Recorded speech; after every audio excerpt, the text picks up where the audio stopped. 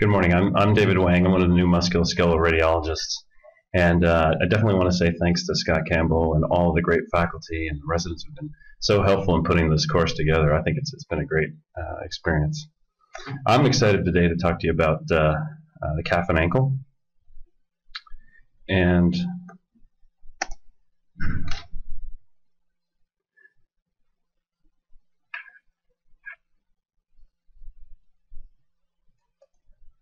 At the end of this, I uh, uh, will have reviewed the normal anatomy of the calf and ankle, uh, as well as its normal sonographic appearance.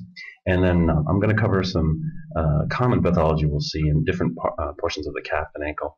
by no means an exhaustive list. So everybody's heard the joke, how do you hide a dollar from a radiologist? You put it on the patient. And I, I do this to kind of emphasize that musculoskeletal radiologists, you know, or a radiologist should have a uh, an interest in trying to get close to the patient. And uh, this way, you won't miss out on any hidden dollars. So let's start with a calf.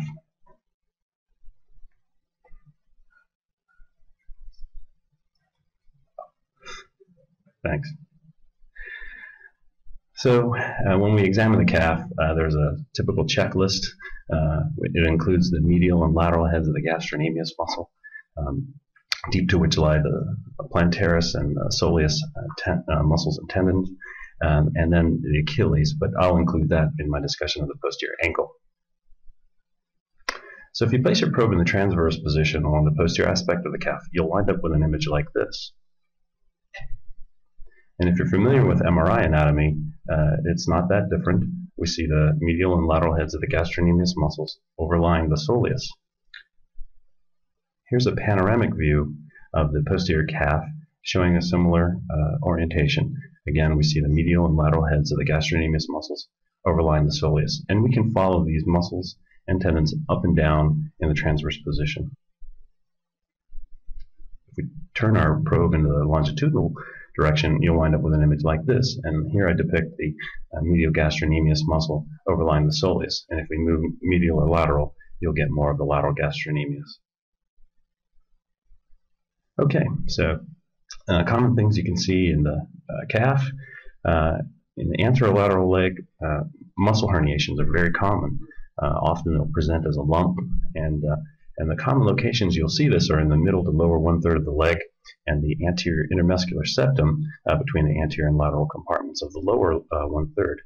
tibialis anterior tendon is the most common, and on ultrasound we'll see discontinuity of the overlying fascia with uh, focal herniation. And it may be important to place the patient in a provocative uh, position, either in the standing or squatting position, to increase leg pressure. And then uh, it's important to look for signs of uh, necrosis or ischemia. Here I show a longitudinal image of the tibialis anterior, and we see a focal discontinuity of the fascia with herniation of the muscle.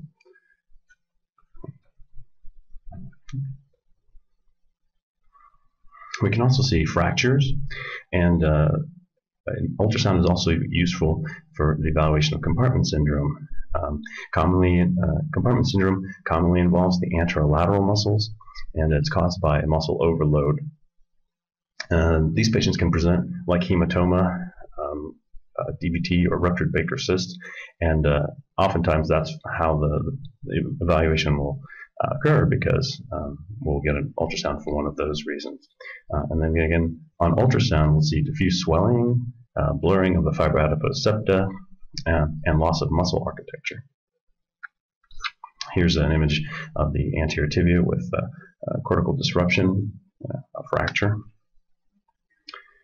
And then here's a, an image taken from a book by Bianchi and Martinoli showing um, progressive images coming from caudal to cranial showing uh, loss of normal fibroadipose septa and the disruption of normal muscle architecture. In the posterior medial leg, uh, we commonly see tears, and uh, the prototypical tear is going to be uh, a tear of the medial head of the gastrocnemius, or the so-called tennis leg, uh, sudden forceful active plantar flexion and extension of the knee, and these patients can present with thrombophlebitis, Baker cyst, rupture, or Achilles tendon tear. We can also see tears of the plantaris tendon. Here's an example of a soleus muscle strain with a hypoechoic echotexture corresponding to a partial tear. And then here are two transverse images through the posterior calf showing uh, partial thickness tear uh, of the uh, plantaris tendon. All right, let's move on to the anterior ankle. The anterior ankle checklist includes uh, the anterior joint recess, uh, the extensor tendons, and the neurovascular bundle.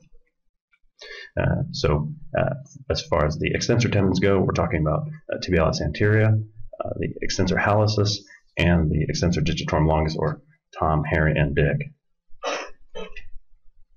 So if you place your probe in the longitudinal position along the anterior joint, uh, you'll wind up with an image like this, where you'll see the uh, tibia and talus in profile, and then anterior joint recess. I then turn my probe in the uh, transverse position, and we can see the all of the extensor tendons laid out very nicely, and then uh, we do catch uh, some of the uh, we, we do catch the artery. Uh, again, I want to emphasize a concept that we've been talking about through the whole, throughout the whole course is toggling your ultrasound probe to take advantage of anisotropy and making the tendon much more conspicuous. Here I depict the uh, anterior tibialis tendon becoming much more conspicuous on the right uh, uh in its hypoechoic. Okay, so here's tibialis anterior. It originates from the uh, lateral tibial condyle and superior half of the lateral tibia in this exquisite Netter drawing. It inserts on the medial and inferior surfaces of the medial cuneiform and base of the first metatarsal. If we place our probe in the transverse position, uh, just above the ankle, you'll wind up with a nice hypoechoic ovoid uh, tendon, and we can follow this structure up and down the leg to its insertion. If we change our position in a uh, longitudinal direction, then we can see the tendon laid out nicely. Uh, here I have it in uh, three positions just above the ankle at the level of the tibia, uh, along the talus, and then at its insertion on the first metatarsal. Or. Okay, here's the extensor hallucis longus. It originates from the anterior midfibula and interosseous membrane and inserts on the dorsal base of the great toe distal phalanx. Again, in the transverse position, we see a nice ovoid uh, hypoechoic tendon that can be followed along its uh, course to the great toe. And then if we change our orientation into the longitudinal position, again, we can lay out that tendon uh, along its course. And here I have it depicted along the talus, the first metatarsal shaft, uh, to its insertion on the distal phalanx.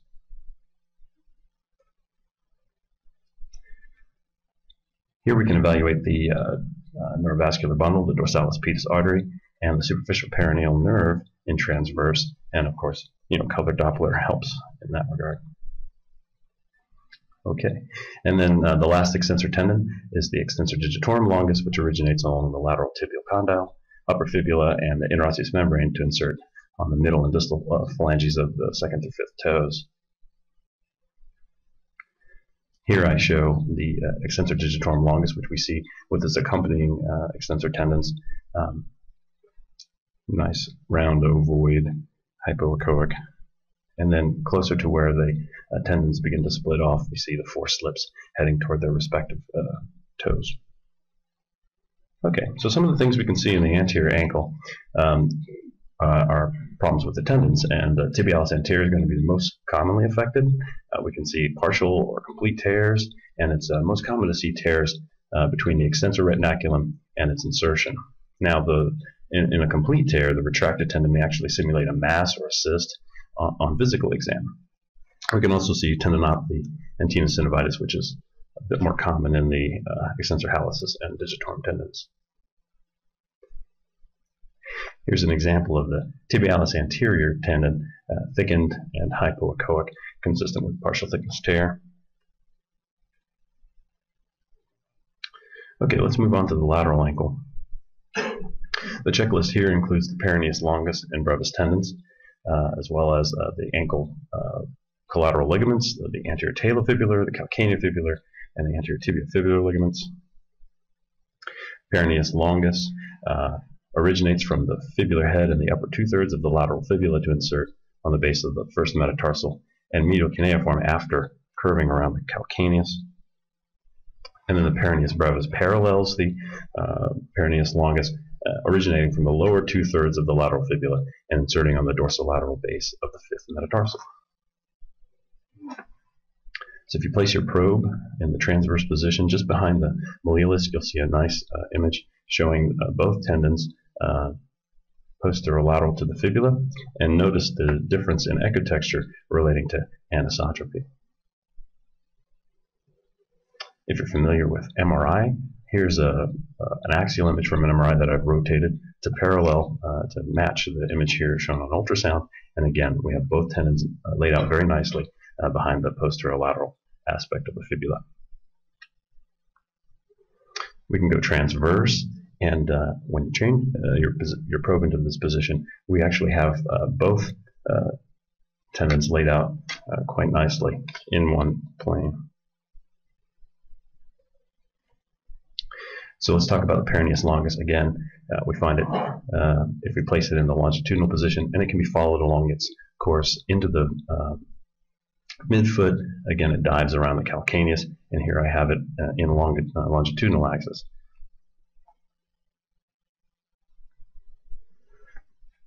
Here's peroneus brevis. It parallels peroneus longus. We can follow it all the way along its length longitudinally to its insertion on the base of the fifth metatarsal.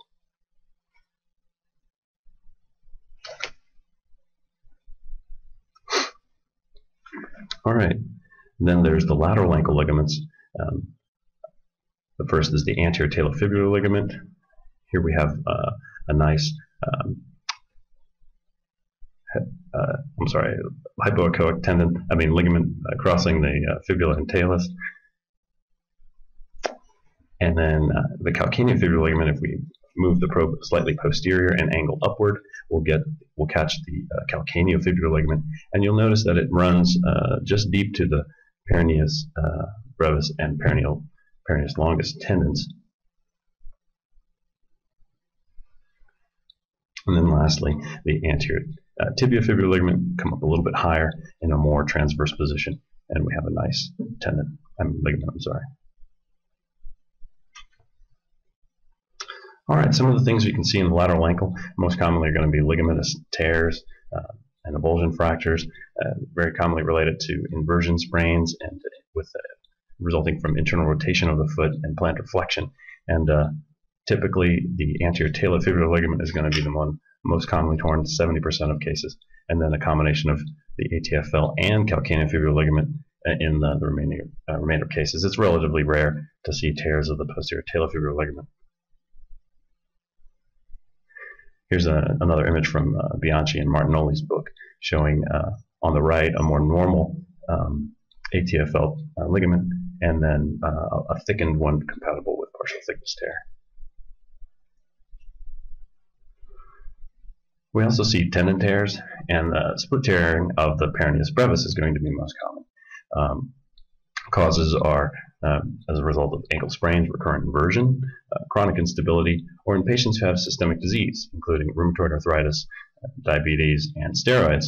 And um, in, in the elderly, this can be asymptomatic. Um, the longitudinal split can range in length from about two and a half to five centimeters, and it, it begins at the lateral malleolus and can go in both directions. Here's a, uh, two transverse images through the peroneal tendons, and on the right we have a more normal appearing uh, peroneal tendons, but on the left we see abnormal echotexture within the peroneus brevis. That was a split tear.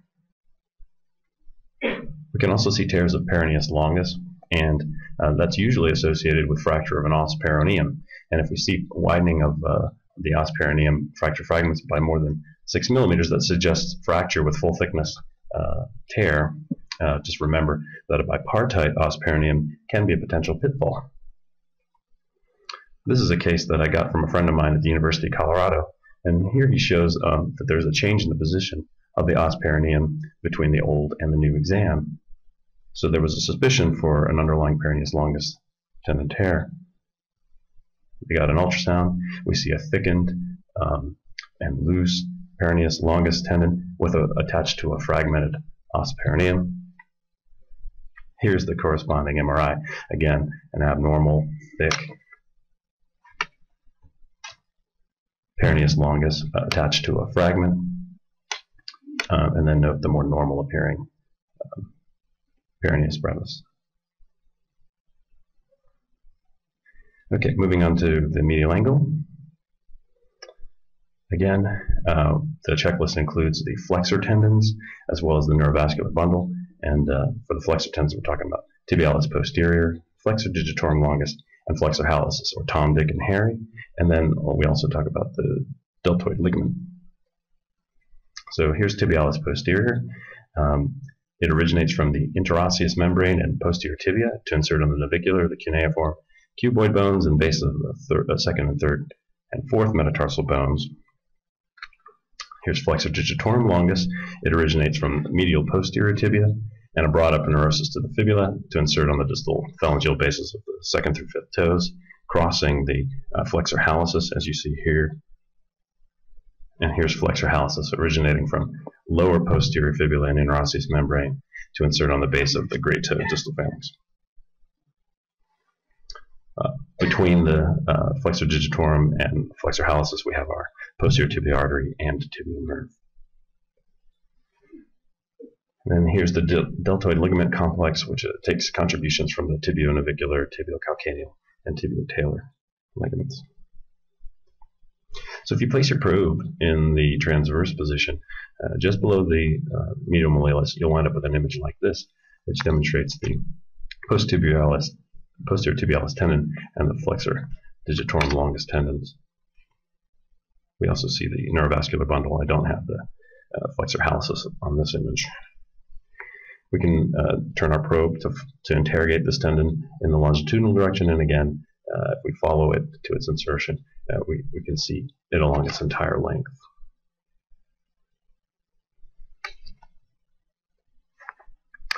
Uh, and then you can do the same for all of the other tendons. The flexor digitorum longus tendon. Here's the neurovascular bundle.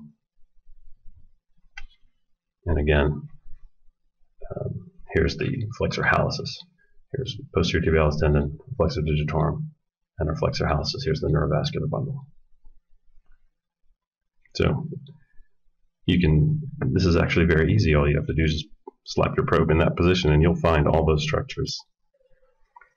And then to interrogate the tibial artery and the tibial nerve, um, you just need to use a little color Doppler to kind of help uh, outline the artery and and here's the, uh, the nerve with normal fasciculations.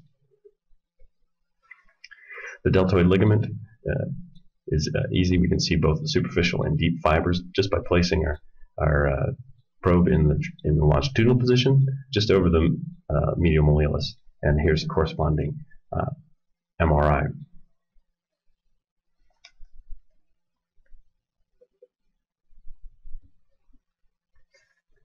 Okay, so common things we can see in the medial ankle.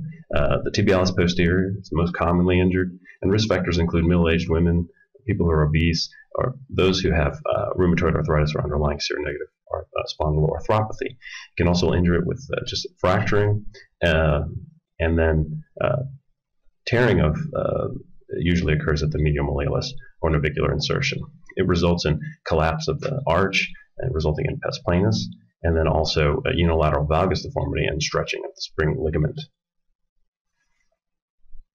So here's an example of posterior tibialis tendinosis with thickening uh, of the tendon.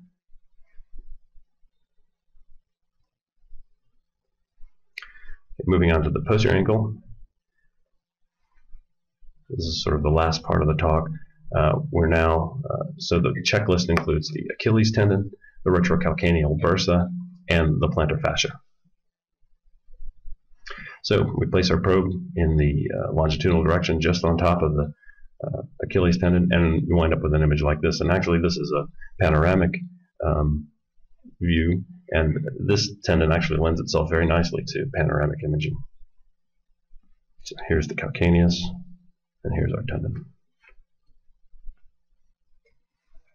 We can go uh, transverse to that, and we see a nice normal C-shaped appearance of the uh, Achilles tendon. in that same position, we can also uh, interrogate the retrocalcaneal bursa, and it should almost be imperceptible. And then uh, if we place our probe longitudinally on the posterior aspect of the foot, uh, I'm sorry, the plantar aspect of the uh, over the calcaneus, we can see a nice uh, tendon here, uh, the plantar fascia. Okay, so uh, we can see uh, tendinosis and uh, peritendinitis and um, thickening of the Achilles tendon from metabolic disease. As far as tendinosis goes, it's bilateral in over 60% of cases and usually involves the proximal two thirds. Um, peritendinitis is a more normal appearing tendon with inflammatory change of the paratenon. And then we can see deposition within the Achilles tendon uh, with gout and heterozygous hypercholesterolemia. Here's an example of Achilles tendinosis with focal thick, fusiform thickening and uh, hypoechoic echotexture abnormality uh, compatible with tendinosis. We can also see tears um, and usually degeneration, uh, hypoxic or myxoid degeneration leads to microtearing and ultimately interstitial uh, tearing. You see about 7 million cases per year in our country and uh, more common in men, and for some reason, more often on the left. Uh, older age and sedentary lifestyle are uh, risk factors, and it usually occurs two to six centimeters from the calcaneal insertion, the so-called critical zone. Uh, we can see uh, partial or full thickness tearing. And On an ultrasound with full thickness tearing, we'll see uh, the stumps abutting one another. Um, fat may herniate into the defect, and then there are a couple of pitfalls to look out for uh, with a full thickness tear. The paratenon may remain intact and simulate partial uh, fiber uh, or in, intact partial fibers the, of the Achilles tendon. Um, also, the plantaris tendon can displace into the defect and also simulate a partially intact uh, Achilles. And then remember, in the postoperative Achilles, it's going to look abnormal. It'll be thickened, and we'll see uh, suture material holding the tendon together. So here's an example of a of a full thickness Achilles tendon tear with uh, a, a, you know thin uh, rim of tissue from the paratenon. And then here's an example of a Achilles that's been repaired, and we see a little specular uh, echogenicities, which are consistent with the uh, uh, suture material that was used to repair the tendon. And then lastly, we can see retrocalcaneal bursitis, uh, common causes include uh, uh, systemic disease from rheumatoid arthritis or seronegative spondyloarthropathy. You can also see it in the setting of trauma, repetitive trauma, and it can also just be isolated. Here's another image from Bianchi and Martinoli's book showing hypoechoic fluid in the retrocalcaneal bursa with inflammatory change. And uh, we also have, uh, you can also see plantar fasciitis. It's the most common cause of heel pain uh, resulting from increased traction of the calcaneal attachment, uh, leading to um, micro tears followed by reactive inflammatory changes. Uh, on ultrasound, you'll see fascial thickening, hypoechoic echotexture with loss of the fibrillar pattern, and blurring of the superficial and deep borders of the fascia. And it just becomes very thickened, greater than five millimeters. Here's an example of a, uh, two different patients a markedly thickened um, plantar fascia. And then here's the more normal appearing one. That's it.